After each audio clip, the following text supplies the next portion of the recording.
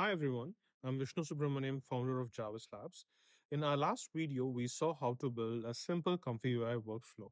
In this video, let's take a step forward and let's try to build a SDXL workflow, which is one of the latest models from stability.ai. It is slightly complicated than building a basic workflow because we will use two different models. One is Stability XL base and the refiner one uh, in addition to this, once we achieve this, we will also see how we can use ControlNet to teach uh, the stability diffusion model to uh, generate specific kind of images based on pose or based on density and different examples, right? So as usual, we will start with uh, empty Canva. I have installed some of the uh, nodes already for this tutorial. Uh, we will also attach the videos on how to install the manager for you to install the additional nodes. So if you're using a Jarvis Labs instance, this manager comes installed automatically. We have done it for you. So let's start with the workflow. So as usual, the first thing we would do is we want to load a checkpoint. So in this example, we will have two checkpoints. One is SDXL base and SDXL refiner. So let's have two checkpoints. Let's search for refiner. So in Labs instance, we have a, lot of models which is preloaded for you. So you don't need to spend a lot of time downloading them. So once we have these checkpoints, let's add a positive prompt and negative prompt. One difference is going to be we're going to share this positive and negative prompt with both the uh, checkpoints, that is your base and refiner.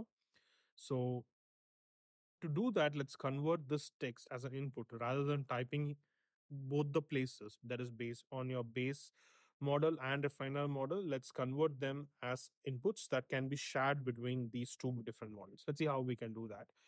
We can say convert text to input. Now uh, I can convert this and I can have a pre node. So it's called primitive node, which is like a simple basic thing. You can connect this and then it becomes a text box kind of thing. And let's name this as a positive prompt.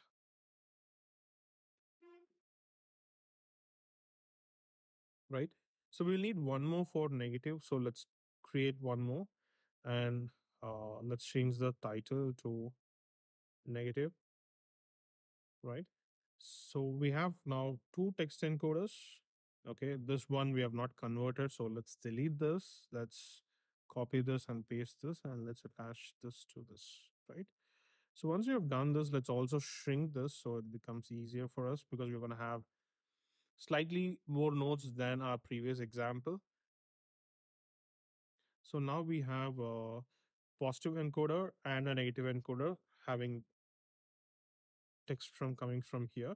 So what we're going to do is we would need another one for our refiner model, right? Let's so paste these things and let's put it put them here. Let's bring the string to text here for positive and this one to negative. And I think we have to attach this clip here. We missed to do that, right? And let's put these things actually here so it becomes easier for us to manage it. So let's connect the clip from here and here. So these two encoders actually take the refiner model, right? And this one is taking the clip model from our SDXL. So once we do this, let's bring in a sampler here. Uh, let's use K-Sampler Advanced. I'll explain you why I choose K-Sampler Advanced rather than the normal one. Let's pick two K-samplers right, since we have two nodes here, right? Now we have these. Now we have to make some uh, adjustments because we want uh, to use two nodes. We don't want them to have the same steps. So we want to use this first sampler for particular number of steps, let's say till 20. Let's say the total steps is 25. Uh, for first 20 steps, we want to use the base model. And for the next five steps, let's say we want to use the refiner model, right? So in order to do that, what we will do is we will make additional input steps to this particular node, say convert steps to input and convert uh, end step. We want to fix this And then let's add some primitive nodes just similar to we added here so that we can share this node with this K sampler so that the steps and end at step are shared between these two samplers. So let's create two primitive nodes. Okay, and let's uh, connect them. Let me create one more and connect the end at steps here, right? We can change the titles of these so that it's easily understandable. Let's call these as steps and let's call these as end steps.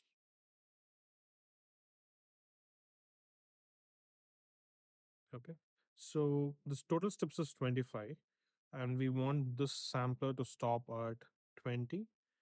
And then once this is done, so what we are going to do is we are going to convert this steps as an input and the end of step as a or not end as a step because we want to start here from the 20 rather than end here. So we can take this and connect it to the steps and this one to start at step, right? Now we have the K sampler ready. We need to attach the positive and negative prompt. So let's take the conditioning from here and let's put it to the positive prompt and take this and put it to the negative prompt. We need the latent image. Let's connect this from this sampler to this sampler. And um, of course, we need to connect these positive prompt from here to here and we need a latent image. So let's start with a empty latent image. So SDXL work can work up to 1024, 1024. So let's change them to 1024. So we have almost everything ready. So let's add a decoder and let's preview this and let's see how our image would look like. Before that, we need some prompts. Let's say we need the image of a car uh, in a racetrack, right? Let's say we don't want it to be ugly or malformed, right? Okay, we need to connect the VAE to the decoder for it to desample it. So now let's try running it again. It works.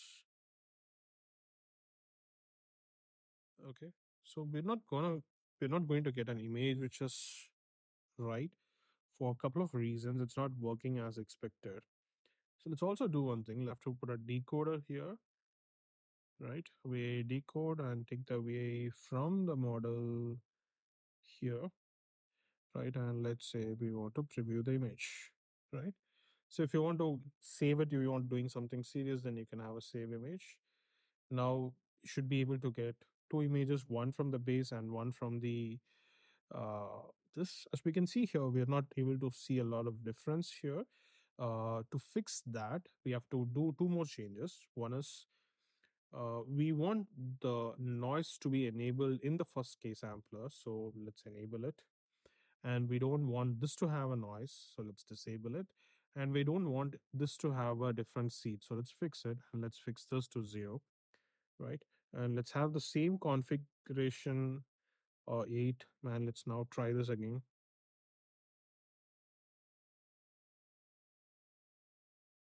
okay now we can see that uh, the base model has created something uh, image of a car and the refiner model is trying to make it more perfect right so this is how we can build a simple sdxl base come refiner model basically we are using uh, two models one is the base and one is the refiner we have two K samplers. We are taking, uh, st- we're starting with an empty latent image of 1024, 1024.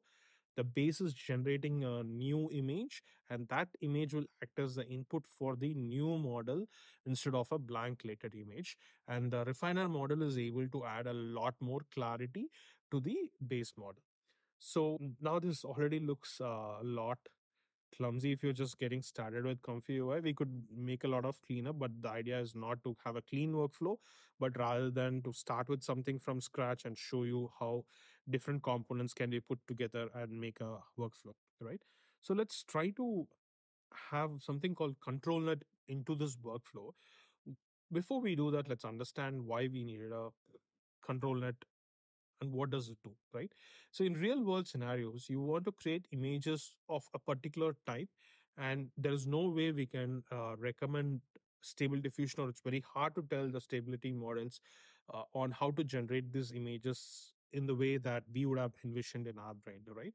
But uh, a new technology called controlnet solved this problem by letting us use different uh, techniques like pose edge detector canny depth different techniques and instruct these stability models or stable diffusion models to create images of what we are looking at right? So what we do is we take image and then we pass it to a kind of edge detector we will use a depth detector for this example. We create a depth image. Let's start with that. It's always uh, easier to understand by looking at examples than the theory part of it. So let's say we have this mi das depth map. So we use this and we need to have a input image. Let's say we create a load image. Okay let's take a image of a car. I've downloaded one uh, racetrack.jpg we have this and let's create a preview to understand how it looks like right this also ran so we got this depth map for the car and how things look there is also like some other cars in the background we can see now the question is how do we connect this depth map into this existing workflow? In order to do that, let's add one more node, uh, which comes with control ControlNet. Uh, let's say apply ControlNet Advanced.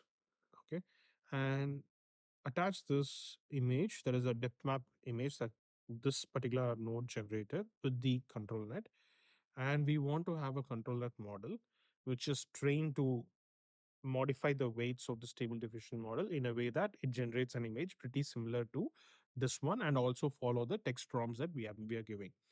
Uh, we'll start with this ControlNet loader, right? I have few of the models loaded. So we are using control LoRa depth rank, which is fine tuned for SDXL models, right? If you're using SD 1.5, you have to pick up a ControlNet model, which is suitable for SD 1.5. In this case, we took the model called LoRa, but it's a ControlNet model.